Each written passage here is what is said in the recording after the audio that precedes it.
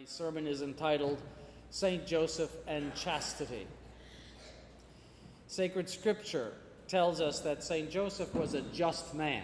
That's all it says. This terse but meaningful phrase means that Saint Joseph had all of the virtues and did not sin against God. Now, only our Blessed Lady was exempt from all venial sin.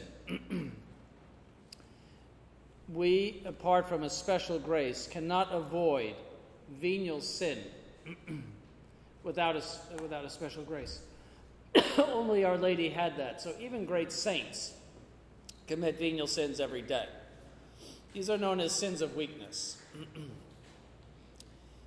uh, that is, we have not sufficiently mortified our tendencies to sin, and these come out usually in little movements of anger or impatience and so forth. but Our Lady had none of that. So St. Joseph did commit some venial sins. If we meditate on this statement a little bit and consider with it the degree of purity which God required in the Blessed Virgin Mary in order that she be his holy dwelling place on earth, we can construct a picture of the virtues of this silent but great man, St. Joseph. Because he had all the virtues, we know that in order to be the foster father of Christ, the true spouse of the Blessed Virgin Mary, and the protector of them both, he must have had these virtues to an eminent degree, whether it be justice or charity, meekness or mildness, prudence or fortitude, obedience or humility, we know that they were all there and to a high and noble degree. For our Blessed Lady received the privilege of her Immaculate Conception for the sole reason of her designation to be the Mother of God, and this because sin is utterly detestable in God's sight.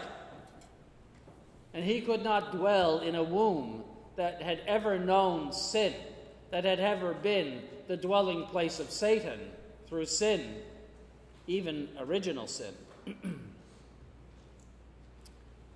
in similar fashion, it was fitting that his home in Nazareth, which was a type of extension of the sacred and sinless womb of the Blessed Virgin Mary, the palace of God, that this home of Nazareth be also sinless, pure, and undefiled. In order that this be so, St. Joseph had to be sinless, pure, and undefiled. There is no evidence in Revelation that St. Joseph was immaculately conceived, and we therefore can, cannot assign this privilege to him. But from the statement that he was a just man, and from the events in the gospel in which he appears, we may rightfully conclude that he was a man of the highest virtue, a gem among men. But just like all saints, there were certain virtues in St. Joseph which stood out more than others, and one of these was the virtue of chastity.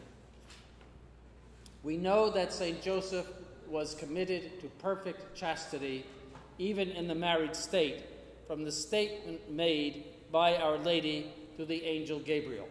You should understand this about the Jewish customs. It was the custom for them first to contract a legal marriage, but they would not come together until weeks later. Now we see this in the parable of the foolish virgins because they were awaiting the spouse to come. That is when the spouse goes and takes his wife from her abode and brings her to his house. And so some of the virgins fell asleep and their lamps went out. Other virgins did not fall asleep and they went in with the spouse. That was the parable. And so that, that was indicative of the Jewish custom. so this is our, the angel Gabriel appears to Our Lady at this time when she is truly the wife of Joseph, but they had not yet come together. So they were truly married. Although she was married to St. Joseph, she was fearful of the angel's request that she should bear a child. For she thought that it would compromise her vow of virginity. So the first question is how is this possible? For I know not man. Now, this expression refers not only to the present moment, but it refers to a resolve that pertains to the future. I'll give you an example. If somebody offered you an alcoholic drink and you never had the habit of doing that, you would say, I don't drink. This was the same idea. This is something I don't do. So, somehow, in order to obtain my consent, there can be no intervention of the, the of sexual pleasure in this case. From this, we conclude that St. Joseph had a similar resolve for, for the, uh, even for the married state, since otherwise Our Lady could never have made such a vow they would have had to agree to this before they were married. So it was a virginal marriage from the beginning, before even the Annunciation. We therefore understand that even before the events of the Annunciation, St. Joseph was a man of marvelous chastity. Let us turn our attention to this beautiful virtue for a moment. I say that it is beautiful for it is the ultimate way, apart from martyrdom itself, in which a soul gives itself to God. A flower is indeed beautiful. Its color and its perfume is meant to attract the insect who will bring to it the pollen from another flower. When this happens, the flower will die and become fruit. This indeed is a wonderful process, and the flower is put to good use. But a far more beautiful use of the flower is that it be cut with the effect that it will no longer bear fruit, and that it be placed on the altar of God or before a statue of Our Blessed Lady, there to give glory to God by its color and by its perfumes. So it is a beautiful thing to see a bride come down the aisle in a splendid dress, ready for her spouse. And it is a beautiful thing that they bear fruit in marriage and produce children for Almighty God. But it is a far more beautiful thing that a young lady should come down the aisle in the habit of a nun, ready to consecrate herself to a life of virginity.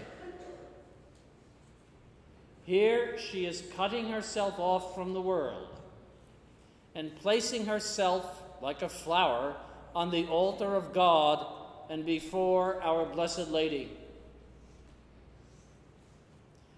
Because her flower of virginity is spiritual and not material, her flower shall never wither,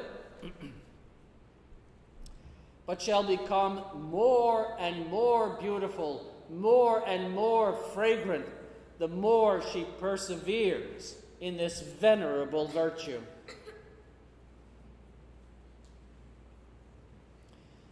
So it is a beautiful thing to see a young man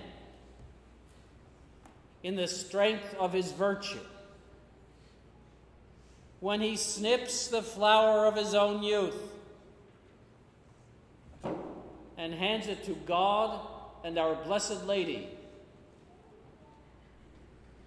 it is an act of deep faith in God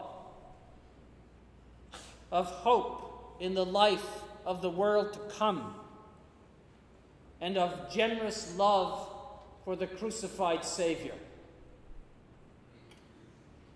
One of the proofs of the church's divine character is that her sons and her daughters, in the prime of their youth, are moved by divine faith, divine hope, and divine charity to give up their lives in such a way and to place their virtue of chastity every day, as Pope Pius XII said, on the altar as a daily holocaust, a daily sacrifice to God.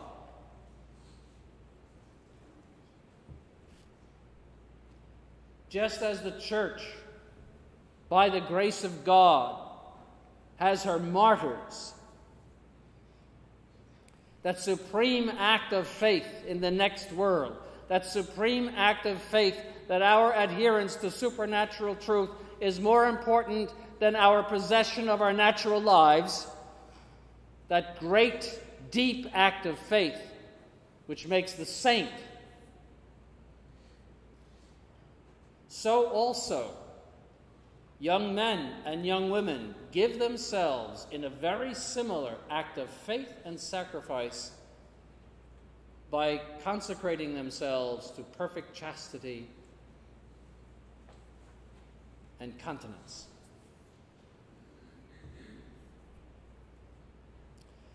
Another reason why this virtue is so beautiful is that it requires intense interior strength in order to practice it.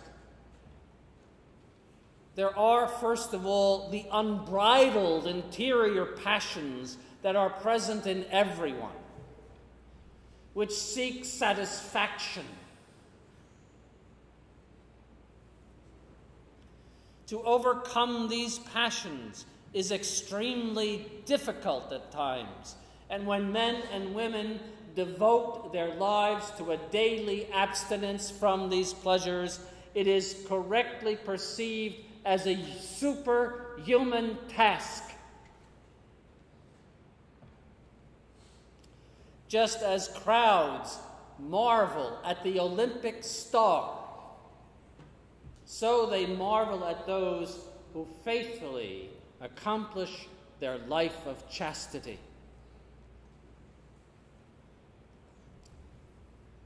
But beyond passion, which we share with the animals, there is in man what we call emotion. Emotion is associated with animal passion but it is at the same time tied to our rational nature. So, anger is an emotion, sadness is an emotion, despair is an emotion. As we all know, our emotions can deeply influence our lives. They form, in many ways, our personalities. And although they are meant to be subservient to reason and to enhance reason, they often do the reverse and dictate to reason. And that's when the trouble begins. Love is also an emotion. Indeed, it is the most basic of all of the emotions. There is in every human creature a desire, an emotion to love and to be loved. There is a strong emotional desire to love another person and to have that love accepted. What causes more sadness in a young man or a young woman when their love is unrequited, when there is no return of a love that is shown to another. And what is more troubling to a person than to have his marriage break up when the very person who is bound by contract to love turns on him or her and now hates. But the, the depths of sadness that that call causes, and it is due to the, the, the fact that we have this strong emotion in us to love and to have our love accepted. In turn, we have a strong emotional desire to be loved by someone else. Children languish if they're not loved by their parents. And even if you shower them with all sorts of money and gifts, if they perceive that you do not love them, they will grow up warped because they live on that love.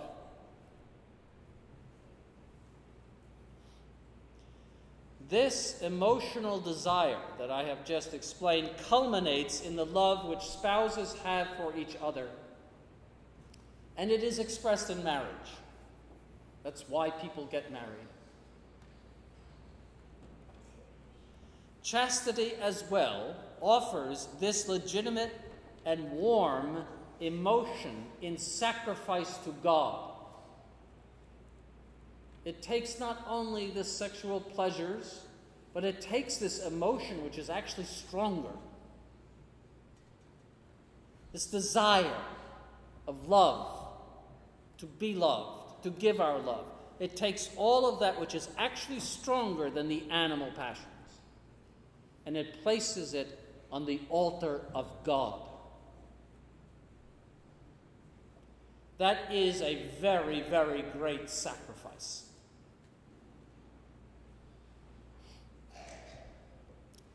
Instead of offering their emotion of their love to another human being, they offer their love to God, like St. Joseph. Instead of seeking to be known and loved and cherished and understood by another human being, they seek to be known, loved, cherished and understood by Almighty God. And they enter into a life of prayer and meditation and daily sacrifice in order to be one with God. For this is how it will be in heaven. God has made this desire of love in us, this tremendous force of love in a human being for himself. For all of our loves in this life must be ordered to Almighty God ultimately. And we can never love anything outside of His law, no matter how good it is, no matter how much we are attached to it. We cannot love anything that is against His law. Everything that God made is for Himself. And this strong emotion in us is ultimately for Himself. That will give us the beatific vision. That will give us the joy of seeing God forever in heaven. And so, priests and religious are beginning their heaven here by discovering that secret by the grace of God.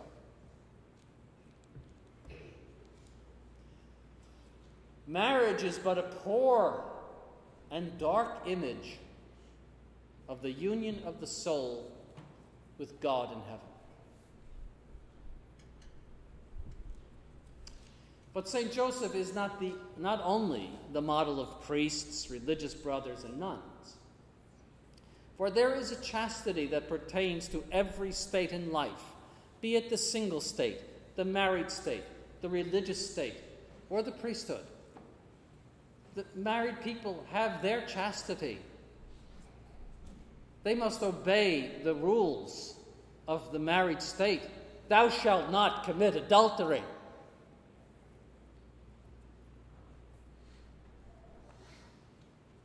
Thou shalt not even desire it because of the chastity of your state.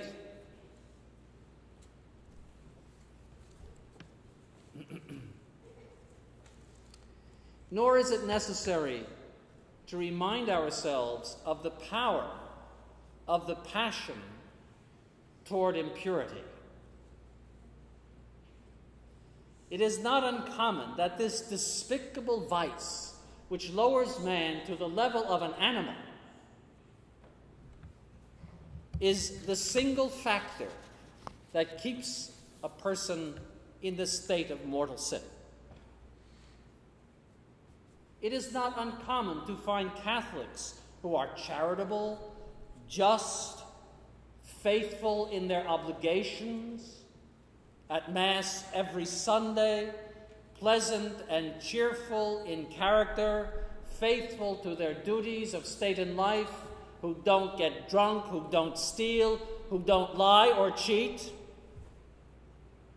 who don't blaspheme or curse or backbite or calumniate, but who nevertheless live in the perpetual or nearly perpetual state of mortal sin owing to an insurmountable habit of impurity. Their one sin, so to speak, is impurity.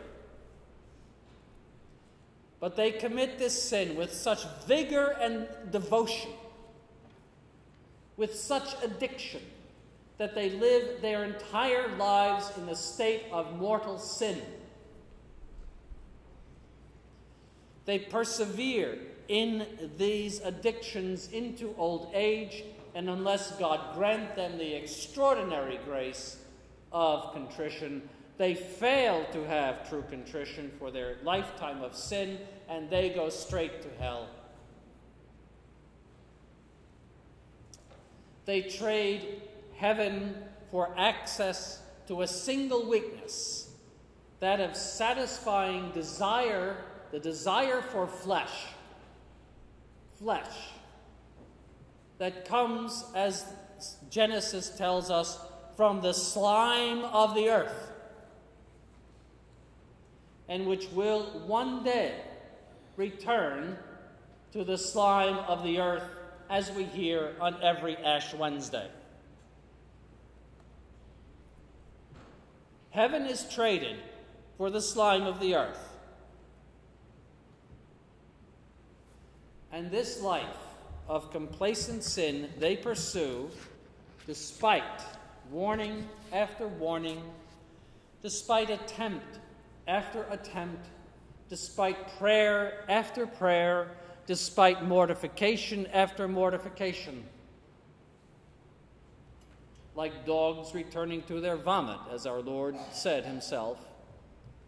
They return to their impurities. They love their sins and they die in them. But some of them, by the grace of God, do manage to escape, and it is the duty of Holy Mother Church, in the person of her priests, constantly to exhort to admonish, to threaten with God's punishment, to urge by presenting the example of the saints. And so today I present the example of St. Joseph.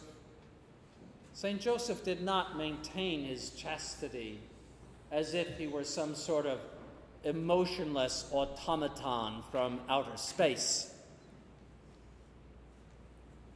but maintained it in the same way that we do, although to an eminent degree. He maintained it by constant vigilance and prayer.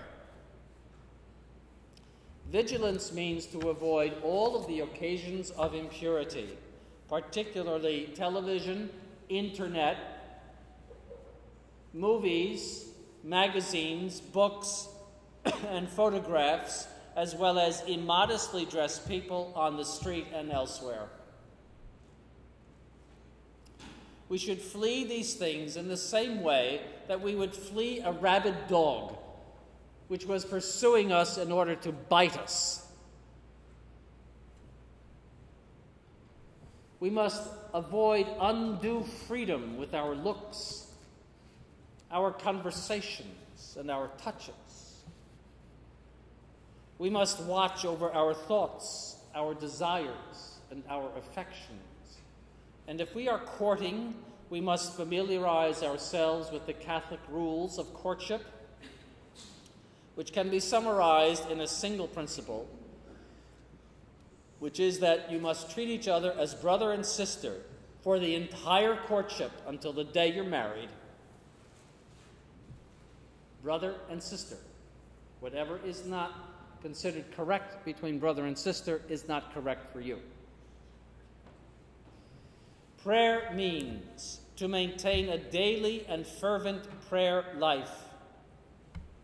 Some prayer every day is better than a lot of prayer episodically. Prayer increases our love of God, and it is love of God and it alone which will triumph over the nearly omnipotent passions of impurity. Meditation is especially recommended. In sacred scripture, it says, In all thy works, remember the last end, and thou shalt never sin. I'll give you an example from daily life. You're all using today what we call a GPS. That instrument has its mind, so to speak, constantly on the end. And if you make a wrong turn, it will immediately alert you to the fact that you have made a wrong turn. Because its mind, if we can use that term, is always on the end.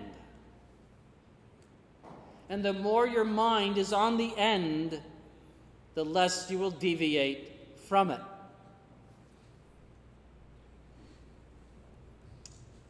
It would be impossible, therefore, to meditate on death, judgment, heaven, and hell, and still desire to commit sin. It would be impossible to look upon in meditative prayer the crucified Savior, his bleeding body, and say, I want to drive the nails into his hands. Or I want to scourge him. You would be a monster to think such a thing. Yet, this is what you are doing when you commit a sin of impurity.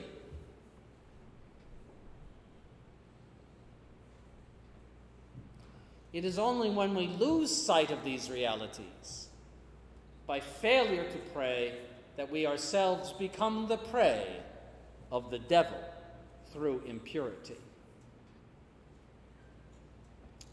Pope St. Pius X gave us this beautiful indulgenced prayer to St. Joseph, the model of chastity. O Joseph, virgin father of, of Jesus most pure spouse of the Virgin Mary, pray for us daily to the same Jesus, the Son of God, that armed with the weapons of his grace, we may fight as we ought during life and be crowned by him at the moment of our death. In the name of the Father, and of the Son, and of the Holy Ghost, amen.